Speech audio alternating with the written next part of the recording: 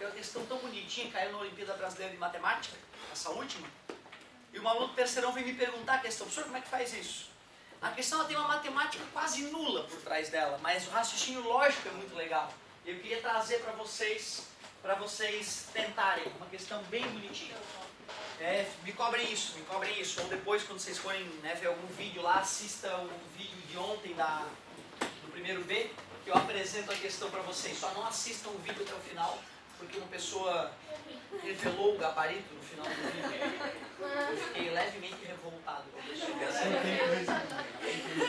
Essa parte não vale a pena ver, enfim. Ô galerinha, olha só. Negócio seguinte. Página 35.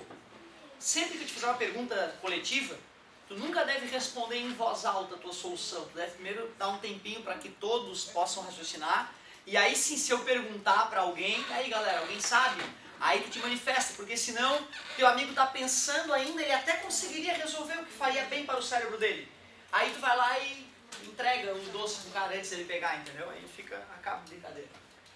Página 35, exercício 5. Uma bela manhã para aprender física. Um bloco de massa Mzão encontra-se em repouso. Tem que ser automático. Sobre a superfície plana de uma mesa, preso por fios inextensíveis e de massa desprezível. Em lados opostos, há dois blocos menores cujas massas são M1 igual a M2 igual a Mzinho. Veja a figura. Tá vendo ali? Mzão, Mzinho, Mzinho. As roldanas podem girar sem atrito e sua massa é desprezível. Engraçado, as coisas não pesam nada aqui. O coeficiente de atrito estático entre as superfícies da mesa e da base do bloco é ME. Por quê? Ah, estático. E o valor da aceleração de gravidade no local é G. Sobre a força de atrito estático que atua, que atua no bloco, é correto afirmar. Ele quer saber que força que atua de atrito, né, que atua naquele bloco ali. Como é que faz a conta? Como, como? Diagrama de corpo livre. Olha ali o, o bloco Mzão, olha ali, virou um ponto. Peso. Atração para onde? Tração para cima? Não, para dois lados. Ah, normal para cima, tá certo, tá certo. Tração, a cordinha tá puxando ele para direita, a cordinha tá puxando ele para esquerda. Eu vou chamar de corda 1 então e corda 2, que aí tem a T1 e tem a T2.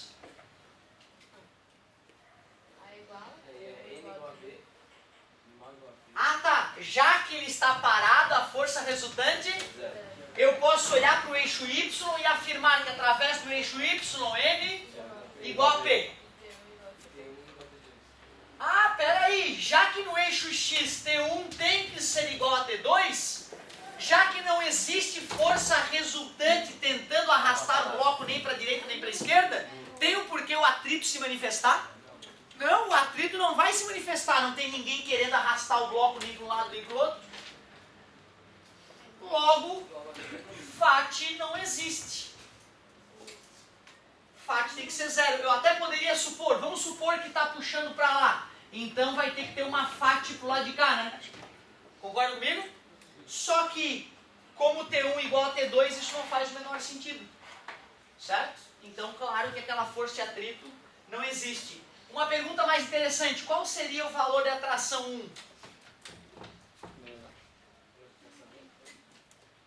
Não tem o. É M, né? Quase. Tração 1. É, quanto vale a atração 1? Vale metade. Como, como? MG, parabéns. Como é que chegou a essa conclusão? Tá escrito na poxa. Faz o diagrama de corpo livre. 1 a 0, 1 a 0. Faz diagrama de corpo livre, tem o peso no fiozinho, tá vendo?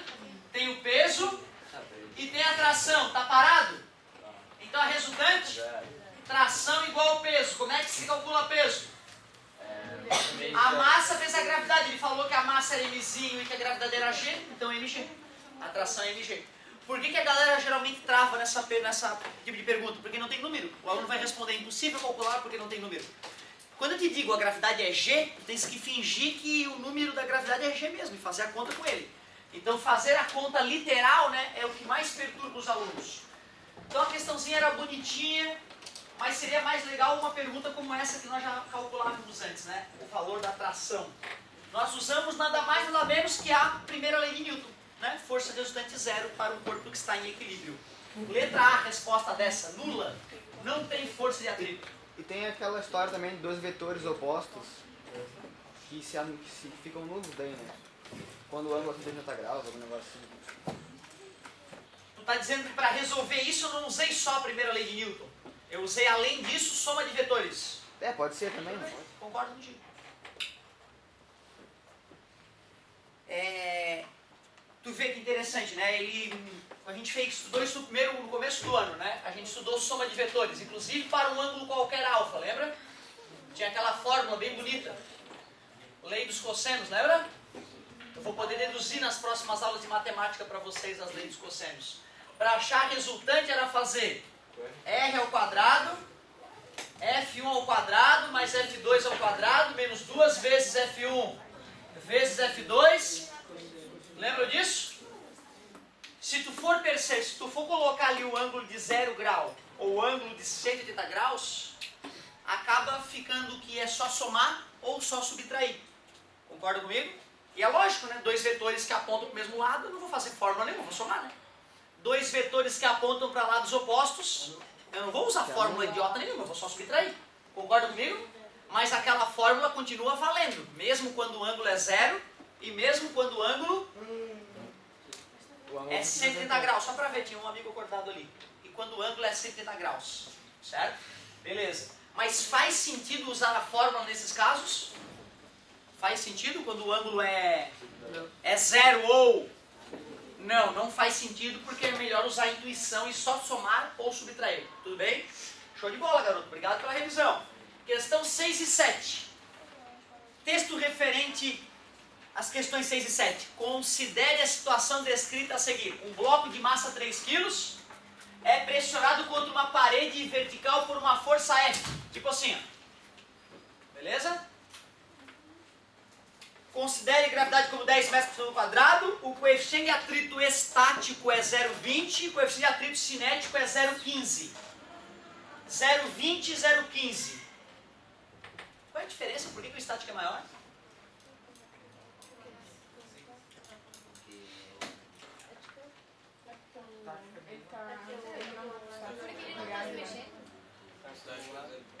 Estático é porque não está se mexendo. Quando não estiver se mexendo, nós usaremos o estático para efeito de cálculo. Quando está deslizando, beleza, essa é a diferença na hora do, do cálculo. Por que, que o estático deu maior que o cinético?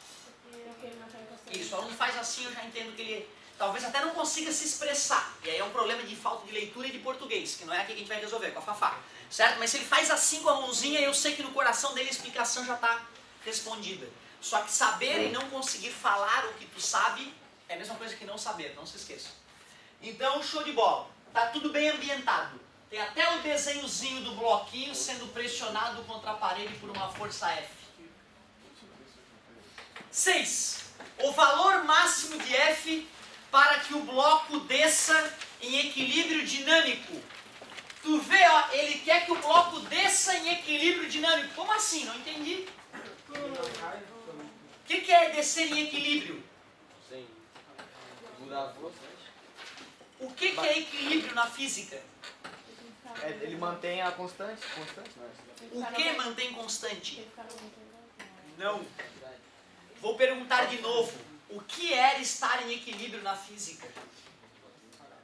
Força resultante igual a zero. Isto é que é estar em equilíbrio na física. E esse estar em equilíbrio pode se manifestar de duas formas na vida. Quais são as duas situações em que a força resultante é zero? Repouso ou MRU? Tu viu como não saber absolutamente conscientemente a primeira lei de Newton trava mesmo nas questões mais tranquilinhas? Então tu vê, se tu não tem consciência que estar em equilíbrio é, ou seja, força resultante igual a zero, ou é repouso ou é E aí tu não consegue perceber que ele está te dizendo que o bloco vai descer com velocidade constante. E se a velocidade é constante, a força resultante é zero. Diagrama de corpo livre no bloco, vamos ver. Peso. Para onde é normal? Pra cima. Pra esquerda. A normal é para a esquerda, porque é a força que a superfície faz no corpo e ela é normal à superfície.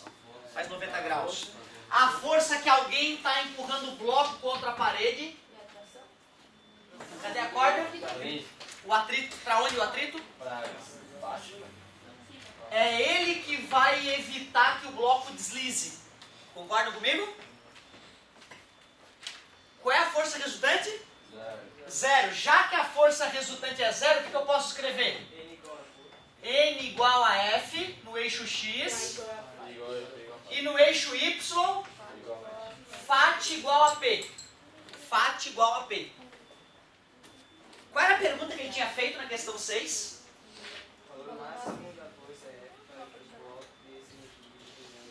Ele quer saber o valor máximo da força F para que o bloco desça em equilíbrio. O equilíbrio eu já representei por essas duas igualdades, né?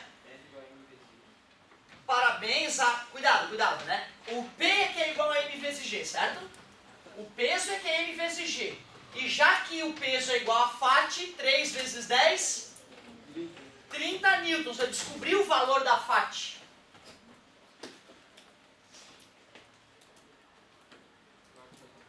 E agora? Como, como? N igual a F, é verdade, N igual a F.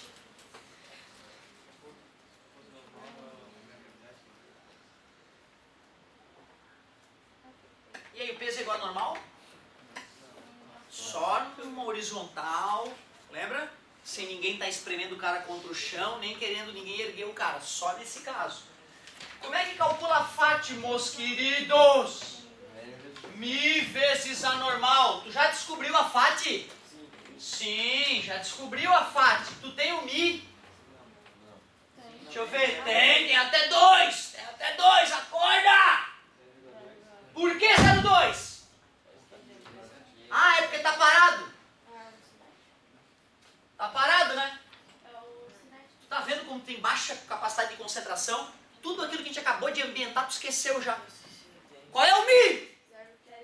Por que, que é o 015, Cacilda Becker? Porque tá deslizando.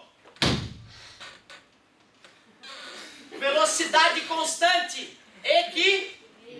Aí tu bota o estático. Pode. E é que eu tô sendo muito exigente, talvez, né? Não, não, é porque tu tá muito relaxadão, tu não bota gás no teu cérebro, tu faz tudo. É. Aí tu nunca vai ser nada. Tu tem que falar, vou aprender essa porcaria. Vou me concentrar nessa merda dessa aula. Não importa se o cara é chato, vou me concentrar. Igual as casas, elimina a vírgula, normal igual 15, 30 por 15, 2. O cara vai ter que fazer uma força de 200 newtons. Se ele não fizer 200 newtons, o bloquinho não desce em equilíbrio, ou seja, com velocidade constante. É isso que aconteceu na verdade? Olha aqui, ó. Já que a velocidade era constante, diagrama de corpo livre, eixo X, eixo Y. Lógico não é? Se eu sei o peso, eu sei a FAT. Mas ele queria saber a força F, que era igual a normal, não é isso? Concordam? FAT igual a Mi vezes a normal, eu sabia FAT, sabia o Mi, calculei a normal. E já que eu sei a normal, eu descobri o F que o cara tem que fazer. 200 newtons. Essa questão era de nível médio, tá? Então eu não me importo que tu tenha errado ela em casa. Eu fiquei chateado de ver que muitos estavam meio sonolentos enquanto eu resolvia a questão. Como é que é? Ah, legal. Como é que a gente relaciona Newton com quilo mesmo? Vezes 10, né? É, né? Peso igual a M vezes G, não é o que a gente usa para passar de quilograma para Newton? Certo? é 10. Seria equivalente a uma força de 20 quilos. Vocês têm essa capacidade de fazer essa força sem problema nenhum. Né? Se tu usa teu peso, né? tu te inclina bem contra a parede, né? tu consegue fazer 20 kg força. Muito bem. Questão 7, vamos ver como é que era a questão 7, se ela era mais dificilzinha. o valor mínimo dF para que o bloco permaneça em equilíbrio estático. Agora tem que substituir pelo ME. Ah, verdade, já está tudo pronto na verdade. Só que se ele quer que fique parado, o coeficiente de atrito é o 0,20. estático, que é o 0,20. Pela madrugada. 30 é igual a 0,2 vezes M. 30 dividido por 0,2 é igual a M. M é igual 50. 300 por 2, 50. 150. Então quais eram as letrinhas? Vamos ver. Era B e A. D, B, B. B E A. e A. Obrigado. Engraçado, eu fiquei confuso. Por que, que na questão 6 ele falou qual era o valor máximo? E por que, que na outra ele falou qual era o valor mínimo? É que se passasse aquilo ali, ele ia parar de ser constante. É verdade, não, assim, aí é que tá, se passar disso aqui, ele começa a desacelerar e para uma hora, né? Concorda comigo? E por que que na outra é o, é o valor mínimo? Porque se eu faço menos do que isso, ele começa a deslizar. Concorda comigo? E ele não queria que deslizasse, certo? Se passar de 200, vai voltar uma hora Se passar de 200, o atrito vai ser maior que o peso. Vai dar uma aceleração negativa. A velocidade irá para baixo, vai começar a cada vez diminuir a velocidade e vai parar. Mas vai voltar a ser estático. E aí vai ficar estático quando parar. Com certeza. Vai ficar estático Então parar. são dois valores para ser estático. Então ele tem dois pontos que ficam estáticos. Duas forças. Tem infinitas forças que deixam ele estático.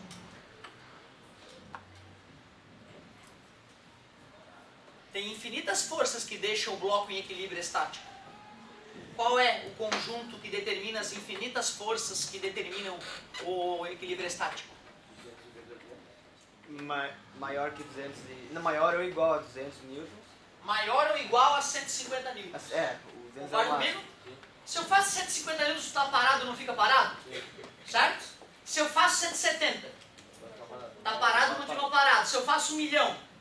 Se eu faço um bilhão, tu concorda que qualquer valor acima de 150 ou igual ele mantém parado?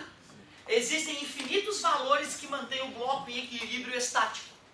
Concorda comigo? Por isso que ele pediu o mínimo. Tá? Ele está quase deslizando, está quase deslizando no 150. Quantas forças existem que deixam o bloco em equilíbrio dinâmico ou cinético? Infinitos. Menor que 200 para. Só 200 dessa vez, não é mais infinito. Só o 200 satisfaz a primeira pergunta. Concorda comigo? Não é isso? Só o 200 satisfaz a primeira. Na outra tem infinitas forças possíveis.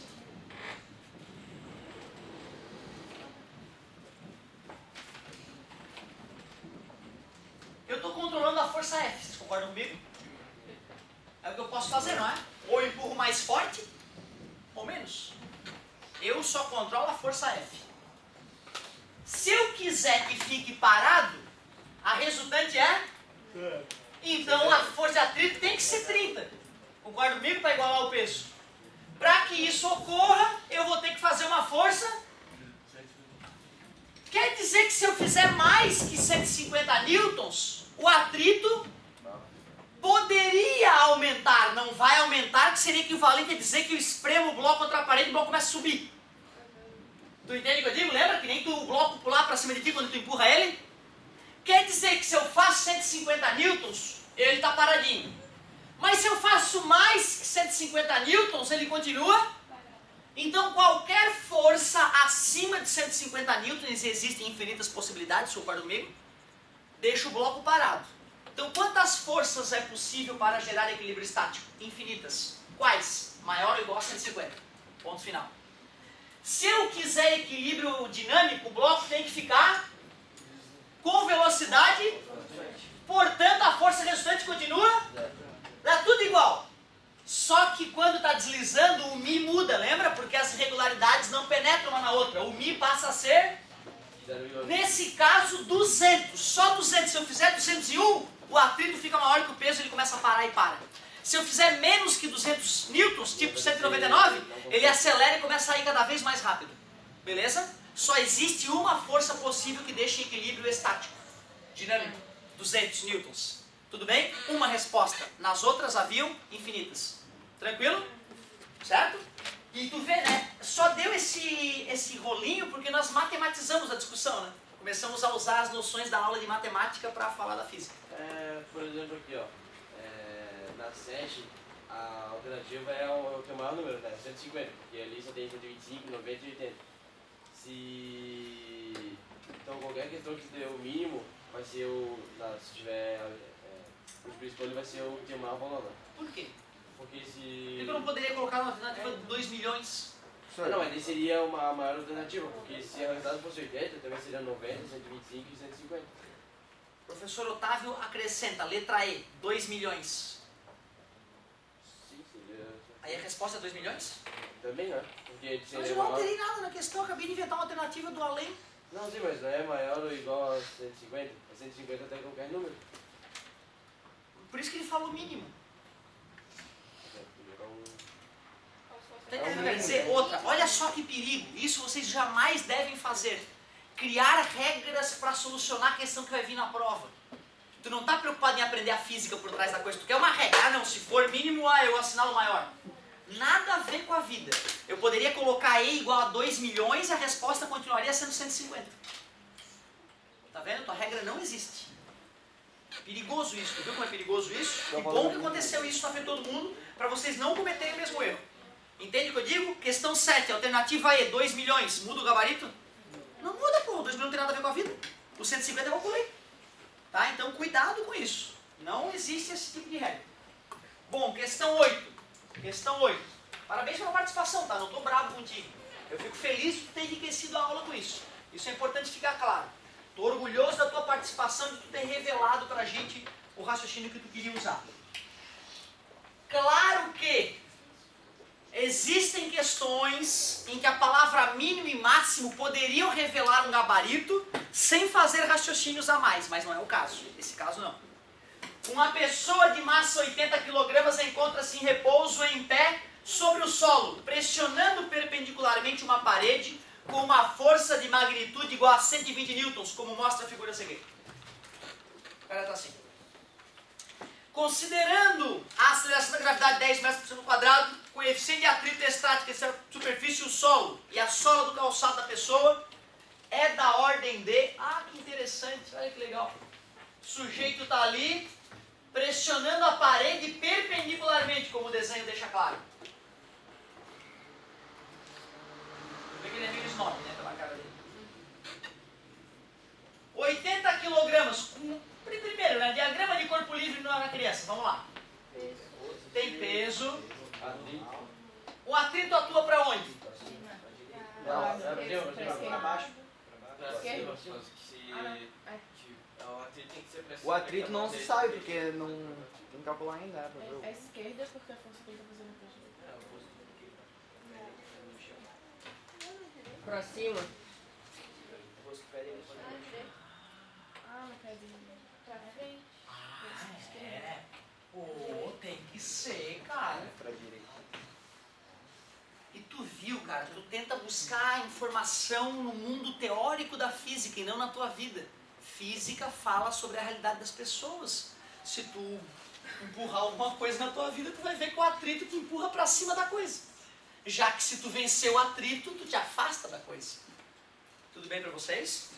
Ficou claro que se eu empurro a parede, eu me arrasto pra longe da parede. Então o atrito quer me manter perto da parede, está me empurrando para cima da parede. Tudo bem para vocês?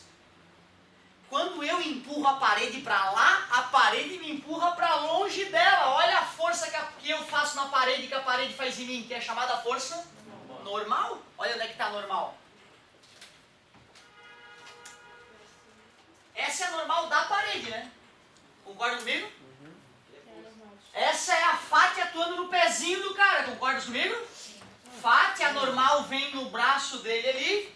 O que está faltando? Outra normal. Tem outra normal, né? Tem uma normal da parede e uma normal do solo, do chão, pode ser. Legal. O difícil, parabéns, o difícil era o diagrama de corpo livre. Era tu sacar que tinha duas normais e tinha o atrito também. Isso é que era o difícil. O que que tu falou, moça? Por que que tu tá garantindo que NC igual a P? Porque se está parado, isso, o resultante é zero. Logo no eixo Y, olhando para o eixo Y, eu perceberia que NC igual a P. Olhando para o eixo X, NP igual a FAT. Que pergunta que ele faz? Qual é o coeficiente De atrito. de atrito, né? Então vamos lá, agora é com vocês. NC igual a 100. NC igual a M vezes G, ó, como moça rapidinha. A massa da criança, 80.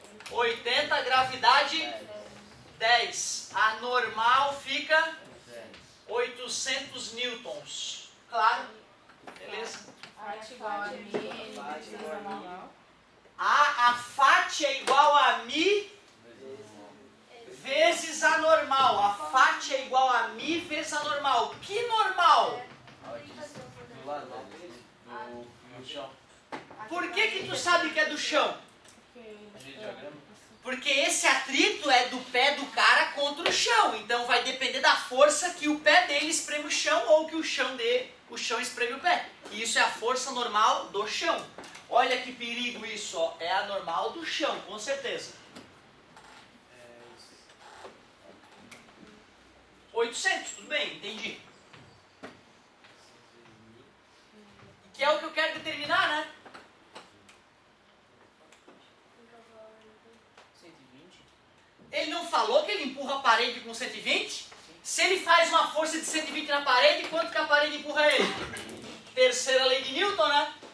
Então tu vê, ó, ele falava a força porque ele empurra a parede. Então a FAT vai ter que responder, senão ele sai deslizando para longe da parede. 120 sobre 800. Pô, questãozinha bonita essa. Vou dividir por 4 em cima e embaixo.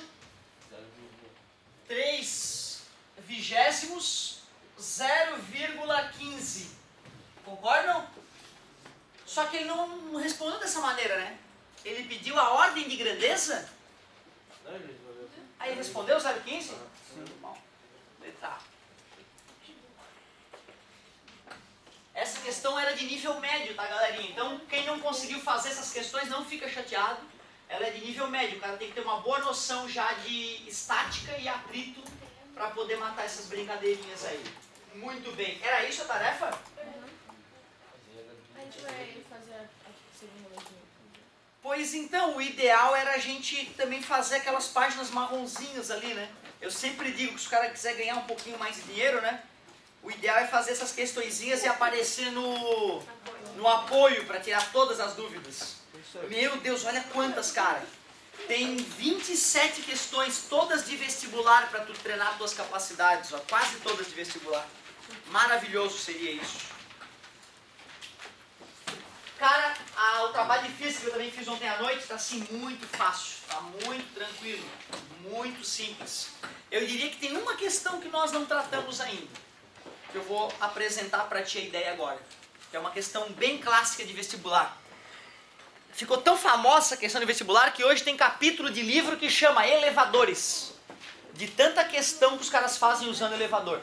Certo? Vamos aplicar a segunda lei de Newton nos elevadores para ver o que acontece.